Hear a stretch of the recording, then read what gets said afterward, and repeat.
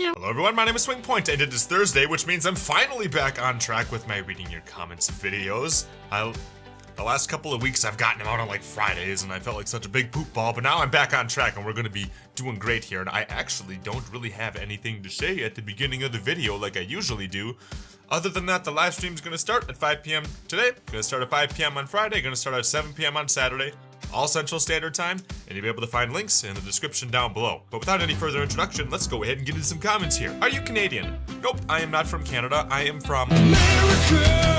Fuck yeah! Heading back down memory lane before my interview, this episode always made me laugh so much and it calmed me down a load, so yay. So memory lane, I would think for people who've been around for a really long time, would be like The Last of Us multiplayer. I did like way too many episodes of that back in the day, probably like 70 or 80 of them. It's easily the biggest series on the channel, and that was before I really kind of found out who I was as a YouTuber and a Let's Player.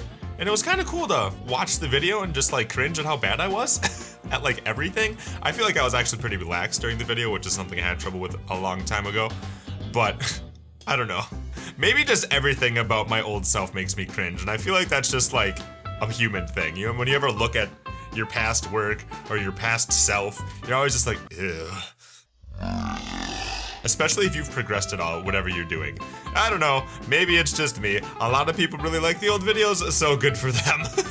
SwingPoynt, I love it when you go off topic into a story or conversation. It makes watching you feel more personal to us as your fans, like you're actually talking to us. Besides, we don't come just to watch you play games, we come to watch you. So feel free to break the video game wall more. Just be completely you. Love you, XOXO. So, the reason why I brought this one up is because, one, it's a really nice comment, so thank you, Laffy. And two is like, this is one of those things that I feel like I've kind of learned over time. And it's not that I'm learning the idea of you guys are here for the person more than the game, but I've learned to actually appreciate that a little bit more, if that makes sense, where I actually take those moments where I'm like, yeah, whatever, let's just sit and talk and shoot shit for a little bit, instead of like trying to always progress in the game and focus on the game. Sometimes you can have a minute or two where you just sit and talk and don't even really focus that hard on what's going on in the game. And I feel like I've learned that a lot because of live streams as well. Just learning that you guys are here to hang out, and I mean, even though the game is a really good like medium to go ahead and have like some common talking ground, but it's much more us being able to just sit here and have a good time, really. And the video games themselves help kind of act as a catalyst for creating those fun moments. Kind of like real life, like, goddamn. People get so, at least I feel like I get so hung up on all this, like, how am I gonna make my video? I gotta make sure it's right, I gotta make sure it's funny. God damn, you just gotta have a good time, right? Not like like if you were trying to sit down with a friend and you're always just sitting there trying to be funny, they'll see it and they're like, ew. You just gotta sit and be yourself and hopefully people like who you are, right? I don't know. I just had this little little mind revelation thing as I was sitting here talking about it out loud. So see, this is why I like reading these comments, because you guys make me think about things out loud. Sometimes it's crazy how much how much more you can think about things if you just say them out loud as opposed to just like leaving it in your head all the time. Okay, well, I guess I kind of did exactly what you were saying in that comment, where I just kind of go off my own little tangent. Wah! Am I pretty? No. Do you want to be with me forever? No. Would you cry if I walked away? No. She heard enough and was hurt tears ran down her face.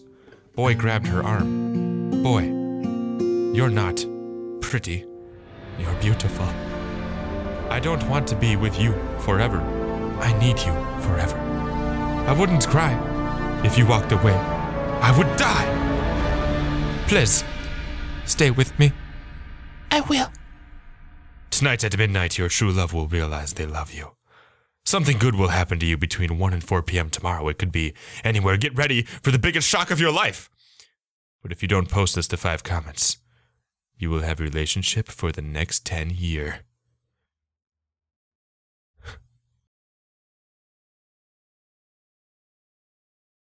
Meow. Dye your pink. okay, so. I don't really know how to explain this to you, but I don't think I could dye my pink if I tried. Boys have a penis, girls have a vagina. Keep your hair, please don't turn into one of those edgy people. So this was a comment last time where I went ahead and I made a joke about dyeing my hair. I'm like, what color should I dye, guys? Purple? Blue, green? I don't know. What do you want it? And then a lot of people got like super pissed off about it. I think the reason why they got super pissed is because I titled the video, What Should I Dye My Hair? And then they probably didn't even watch the video and they just like left a shit comment.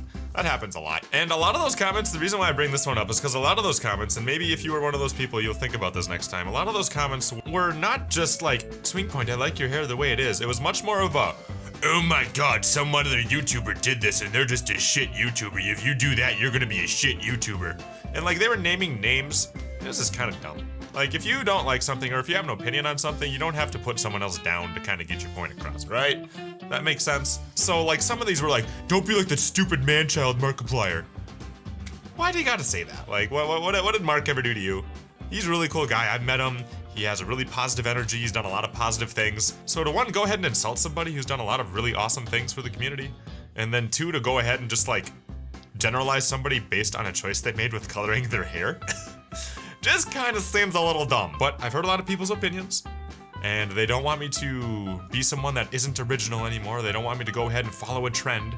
So what I'll do is I'll keep my my brown hair because I'm pretty sure that there's not too many people that have brown hair.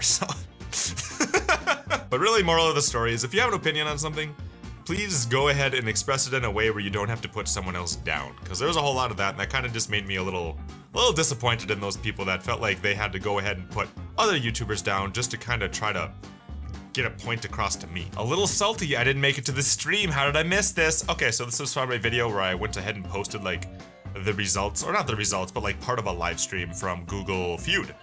And uh, Danielle must not have seen it, so she left this comment. So my tip to you guys, if you don't want to be like Danielle, I call her Pikachu. If you don't want to be like Pikachu, what you got to do is you got to go ahead and follow me on Twitter. That's probably the best bet because you'll see it on your feed and you're never gonna miss it because with YouTube notifications, sometimes they go out, sometimes they don't. It's just like that's like the plague of live streams. You go on Twitch, it's the same problem. You go on Hitbox, it's the same problem. You go on YouTube, it's the same problem. Sometimes notifications don't go out or people just miss them, but if you follow me on Twitter, and you check that every once in a while, you're definitely gonna see it. Twitter's on top of their game when it comes to putting tweets in your feed, man. So, follow me on Twitter. The link for that is in the description, and then you ain't gonna miss anything ever. And actually, that's what Pikachu did here. They followed me on Twitter, and they've been at every single stream that they want to be at. I'm never trusting SwingPoynt with my bank account. He'd complain that SharePoint was broken and spend my life savings on 15 leather chairs. Okay, so this is from YouTuber's Life, where I kind of had like a spending meltdown because I tried buying stuff and it wasn't working. Anyway, long story short, SharePoint's kind of cool. And you know what? SharePoint's kind of making my butt sore a little bit. I don't know if he's just wearing out or what it is, but do you guys even know about SharePoint? If you watch live streams, you definitely know about SharePoint. But SharePoint is my chair that I go ahead and I write people's names on. So some of them might be faded out because it takes like a day for my back to wear some of these off, and I have to I have to like pen them in every day or so. But here, take a peek at this. So SharePoint. I don't know if you can see names here, if you've ever wondered what this is all about. I write people's names across it. People that watch the streams, people that become sponsors. If you don't know what that is, it's kind of like uh, kind of like a sub button on Twitch, where you can go ahead and subscribe to somebody on Twitch, and it's like four or five bucks a month, and you get like extra perks like custom emotes and a custom badge, things like that. Well, YouTube has one of those types of features for live streaming, and it's called the sponsor button. And anybody becomes a sponsor, let's go ahead and write their name on the chair to go ahead and say thanks and that they they have my back, right? So that's kind of what my chair is supposed to do anyway. So, yeah, that's what that's all about. And I figured I'd explain it to you guys, because I don't know if I ever really did explain it to everybody here on YouTube. So yeah, it's pretty neat. And like SharePoint's getting a little full, which is totally awesome. And I feel like I'm gonna have to start getting like more creative with where I put people's names because I'm running out of space on the back. wow, you deserve a million subs, no millions. So this kind of makes me think about what we were talking about before when it comes to, you know, just hanging out with your friends. Like that's what I consider you guys. You're my friends. We go ahead, we play video games together, and we just have a good time talking about whatever. And especially with live streams lately, like live streams have really put a good energy into me and they make me really really bond with you guys on a much deeper level, I feel like. I feel like there's a lot of people that I've met in the live streams who I can consider my friends now. We have hung out after the live streams playing Town of Salem, playing Quiplash, playing Cards Against Humanity, like when we really spend that quality time together. And and every time I see a comment like that, it kind of makes me think about this. And like, even though it'd be cool that the community would keep growing and we reach like millions or whatever, I'm much more focused on who's here now. And I think you can kind of see that in the content sometimes because Sometimes I'll have videos where it's like very obvious that I'm trying to tag it and title it properly, and then there's other videos where I just like completely dick off and do something stupid. And that's because I feel like it's much more important to make it so the people who already gave the channel a chance have a really good experience as opposed to always trying to get new people. Which again is why I live stream. I'm not trying to get new people to the channel when we're live streaming. I'm just trying to give people who are already here a much more fun, a much more personal experience. And that means a lot to me. And I feel like I've met a ton of awesome friends, people who I will consider friends for the rest of my life here through this channel. And I'm very grateful of that. And I guess this comment kind of just made me think about that. So, I guess, I mean, that was the last comment that I have listed here, I'm pretty sure. So with all of that, thank you guys so much for being a part of the channel. Thank you for being at these live streams. Again, it's going to be tonight at 5 p.m. US Central, so that's coming up pretty quick probably by the time you've seen this video, or, or it's already happening, I don't know. I kind of always get this video laid out on Thursdays. There's also going to be one on Friday, and then there's also going to be one on Saturday. And then you'll be able to see a notification of the live stream when it comes out, or like right before it comes out. You'll be able to see it on Twitter, or you'll be able to see it on YouTube. And then next week, I think we're going to have four live streams because next week, Sunday, is my birthday, June 12th. So with all that, thank you guys for watching. You guys are the best. I hope you're having an awesome day, and I'll see you at tonight's live stream. Mwah, mwah, mwah. Meow.